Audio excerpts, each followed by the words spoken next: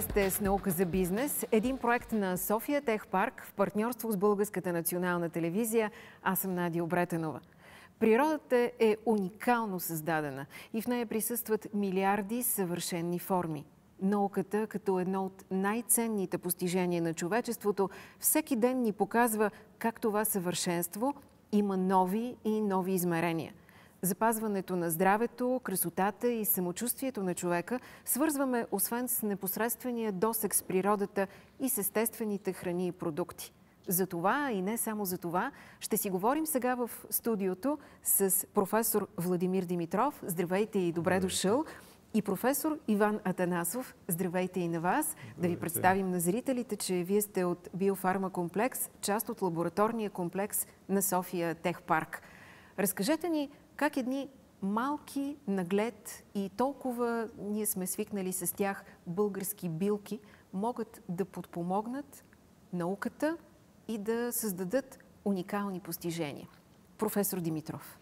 Ако говорим за билките най-общо, то би трябвало да си спомним също, че в България от поколение насам се използват най-различни билки за здравословното състояние на българина. Така че традициите са на лице.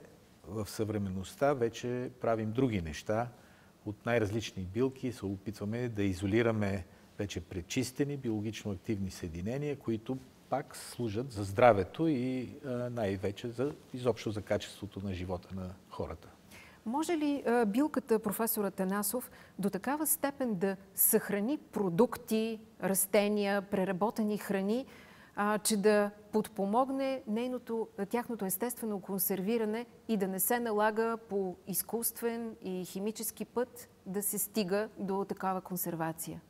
Определено може и българската традиция в това отношение има е изключително богата. Знаем, че ние имаме много традиционни продукти, които включват в тяхната рецептура и билки. Проблемът от една страна е в количеството билки, които трябва да се включат и по какъв начин или как да се включат, така че да могат да се ползват съвременни технологии в хранителната промишленост. И именно това е до някъде основната цел на това приложно изследване. Това в никакъв случай не може да кажем, че е фундаментално изследване. Това е приложно изследване за употреба на розмаринова киселина, екстракти от обогатени на розмаринова киселина за вместо консерванти на различни хранителни продукти. Може би ще бъде интересно на нашите зрители да кажем, че розмариновата киселина не е идентична с розмарина, а че тя се намира и в маточината. А, професор Димитров, разкажете малко повече за това как се извлича тази розмаринова киселина а, и как се прилага. А, тогава трябва да тръгнем от източника на розмариновата киселина. Значи ние се нашо... Има розмариновата киселина има в много растения. За нас в България беше интересно, че се преработват големи количества маточина, а в маточината има розмаринова киселина. В България се използва маточината, за да се дистилира етеричното масло и отпадъкът, който съдържа розмариновата киселина и други полярни съединения, се изхвърля.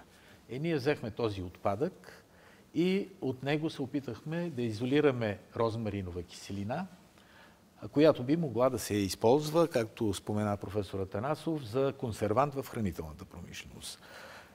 Розмариновата киселина, разбира се, от, може да се добие и от чистата маточина, но тук идеята беше да оползотворим отпадък.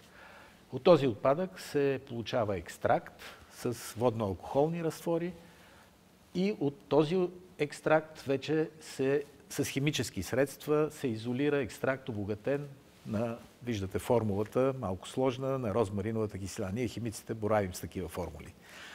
Този обогатен екстракт след това в лабораторията, която ръководи професор Атанасов, беше изпитан за биологична активност най-общо.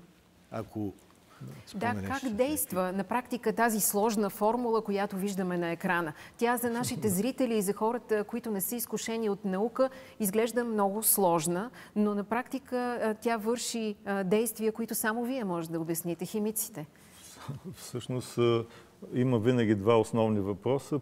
Първият въпрос е каква е биологичната активност, свързана с приложението. В конкретния случай дали тя има антимикробиална активност, т.е.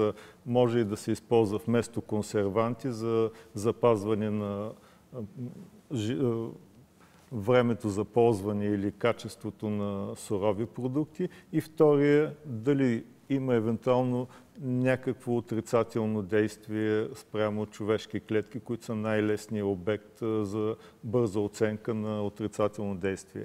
И, и какъв е отговора на тези два въпроса при вашите научни изпитвания? Конкретно за екстракти, които виждаме, че те имат определено антимикробно действие, т.е. биха могли да се използват в сурови хранителни продукти, например сурово обработени или сурови местни продукти. Знаем, че България традиционно произвежда доста такива и съответно тяхното действие в никакъв случай не е по-различно от това на маточината като билка, с, разбира се, с тази разлика, че в случая сме използвали екстракти, които са от отпадни продукти от производство на етерично масло от маточина. Има ли професор Атанасов интерес от страна на бизнеса към вашата разработка? По принцип би трябвало да има. До някъде заявен интерес има, но за реален интерес е все още рано да се говори. Всъщност, един от проблемите с бизнеса, че всеки, ако говорим най-общо за бизнес, всеки бизнес има доста установени а, производствени линии и съответно пазари. И дори и за сравнително големи фирми, понякога е доста голямо предизвикателство те да стъпят малко в страни, да направят нови или да променят съществена част от тяхните производствени линии, да получат доста по-различни продукти и съответно пък да търсят тяхната по-различна пазарна реализация. В много случаи бизнесът доста често се води от това какво се прави по света, но ако по света няма конкретен модел за, за действие, той тогава не винаги е готов за да инвестира време и средства, разбира се, в, в такава разработка. Надяваме се, че с времето, контактувайки с различни е, представители на бизнеса, ние постепенно ще намираме все повече добри практики и все повече бизнес, представители или български фирми ще търсят решения тук, родени в България, не готови взети отвън. А колко сте смели в мечтите си? виждате ли един момент, в който върху продукти български ще пише консервирано с розмаринова киселина? Представяте ли си го това? О, това да. Въпросът е, че има доста розмариновата киселина, далеч не е само един, един, тя е само един пример за, като възможност за преработка на отпадни продукти. Ако говорим, България е номер едно в света по износ на лавандулово масло, заедно с Турция държат пазара на розово масло, има е голям производител и на други етерични масла, които все още не са толкова известни, така че отпадните продукти от различни производства са, са много. Суровина. Са суровина. Благодаря ви за участието. Така се разделяме. Вие бяхте с Наука за бизнес, един проект на София Техпарк в партньорството с БНТ. Благодаря ви, че бяхме заедно.